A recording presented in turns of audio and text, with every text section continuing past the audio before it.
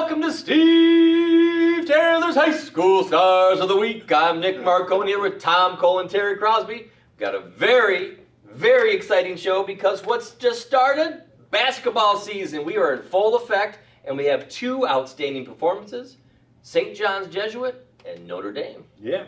All right. Guys, so take it away. I'm out of here. we, you know, I, I think you talked about it before we even started. You know, Nick's uh, opens get better and better They and sure better, do, right? Tom. Yes. Yeah. I, we gotta.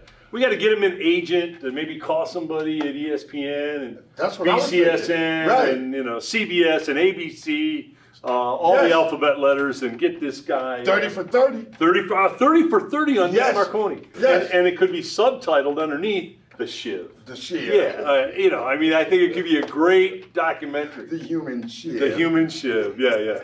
Man at four speed of diabetic, a candy cane, and he'd like it. That's the way he is. That's the way he rolls, right? And he would say, that's the rule. Yeah, that's the way he rolls. That's the way he rolls. All right, Cross. Uh, Yes, boss can't boss can't make it today. He sends his regards, Mr. Steve Taylor, and uh, but we uh, will press on with the Steve Taylor High School Stars.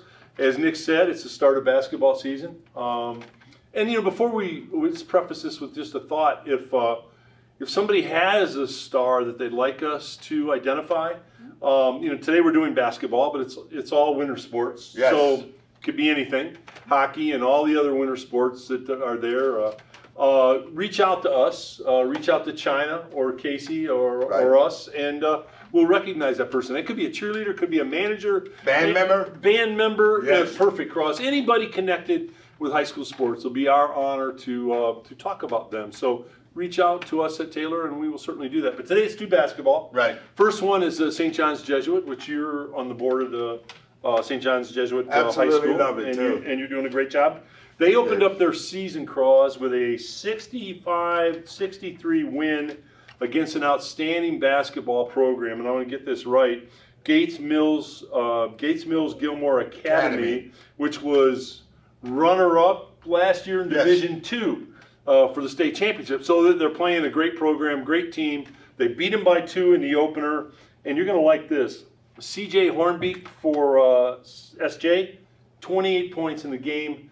If there's anybody that knows about scoring points in a high school basketball game, is my partner Supercross. 28's a good number in a high school game. Oh yeah, uh, and you know I'm I'm really really uh, excited that first of all they beat a very very good team. Yep. And C.J. Hornbeck had an outstanding game. I mean, you know, he's a very versatile athlete, but you know, it's not as you know all about who scored the most points. It was a great team Right. effort. So Good point. And you always bring it back to team cross. Yes.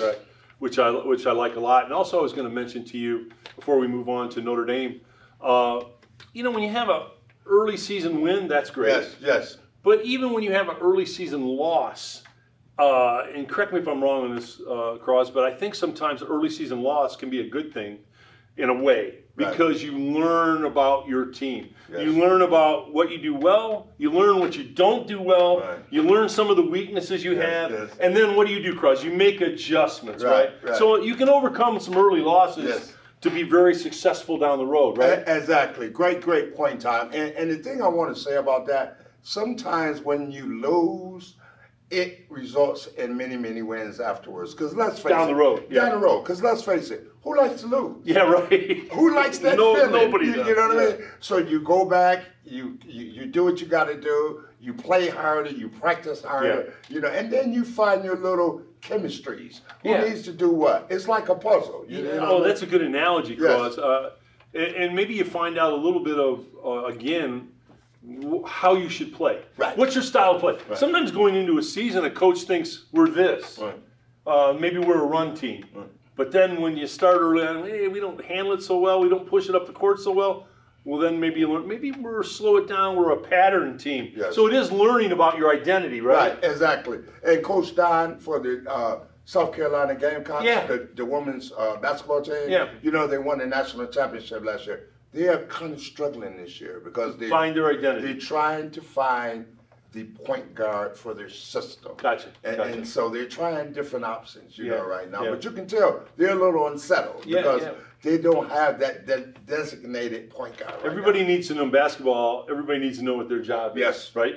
in any sport. You're in any sport, but Yes. especially in basketball, right? You were going to score points. Right. And they weren't going to stop you from scoring points, but you needed somebody to distribute the ball to you. You needed somebody to get the ball off the board so you could get the basketball. Right. So everybody had to fit into slots, Exactly. right? Exactly. Okay. And and that's why I just love when I play with you. Uh, let me shoot and you rebound. Yeah, I rebound. Ah, you know what? I heard that my whole life. Hey, uh, just go inside. You're a big dumb guy. Go inside. No. You get the rebounds and let guys like Cross shoot the ball. All right, we're going to move over to girls basketball now, Cross. nice. We're going over to Notre Dame. They had a season opener, and the reason we were talking about winning and losing in the early segments of a season, they lost to Fremont Ross, a tight game, 50 47.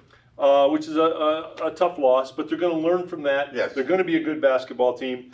And they had a player, I love this name, Dakota Smith. Dakota for a first name. Yes. Pretty good name for a basketball player, Dakota. Dakota Smith had 15 points. Uh, she's going to be a scorer of the basketball for them, obviously. And Notre Dame has a very good program, and they'll learn from that Fremont Ross loss and get better.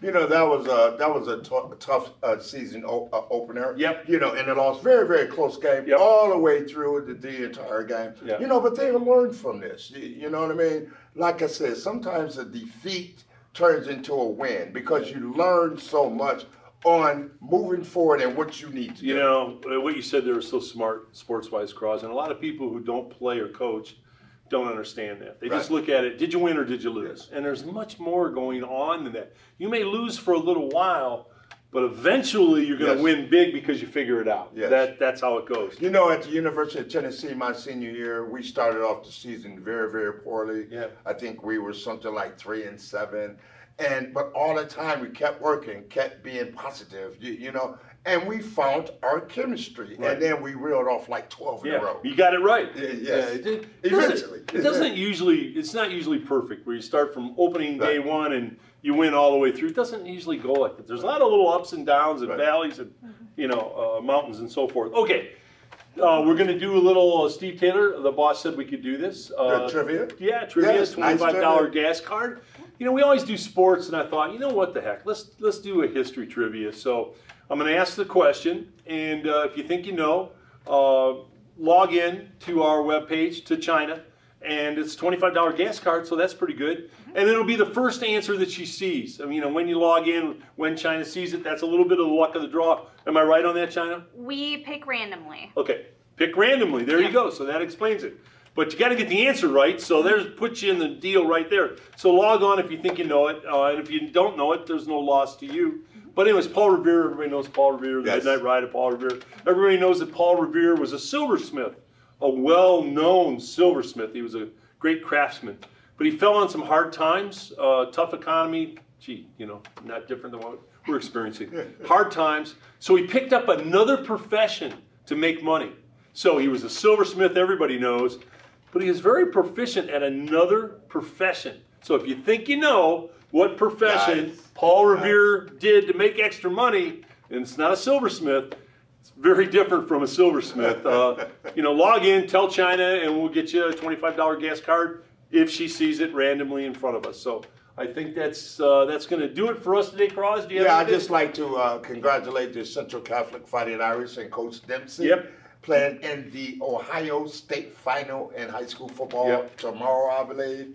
And so that's that's going to be it's so exciting. Good luck to the Irish. Yeah, they. I mean, it seems Yes. like every year they make the deep playoff run, and they've won a myriad of state championships, and they have an incredible program. Right. And we've said it before. Coach Dempsey has to be regarded as maybe the greatest high school football coach in the history of Toledo. I mean, I don't. His record indicates that Yes. that's what he is. Plus, he's a, a super nice guy on top of that. So, congratulations to the kids, the staff. We wish them all the best. Yes. And good luck. And uh, thanks so much for playing along with us today on the Steve Taylor High School Stars edition. Edition. Marco's, got to do Marco's. Oh, Marco's, we almost forgot Marco's. My gosh, Marco's. Yeah. Yes. Marco's Pizza. Without them, we don't happen. Without Yeah, them, the stars don't happen. And, and our stars all get a pizza certificate from Marco's. So if I send it and don't eat the pizza myself, which I've been known to do, so I'm betting about 50 50. Half of you are getting the pizza slips. Half of you, I'm sorry. I apologize. I've eaten the pizza. So, Cross, anything else? We good? No, that's it. That's it, sir. Thank All you right. very much. All right. Thanks to Nice China. this. Thanks so much. We'll see you next week.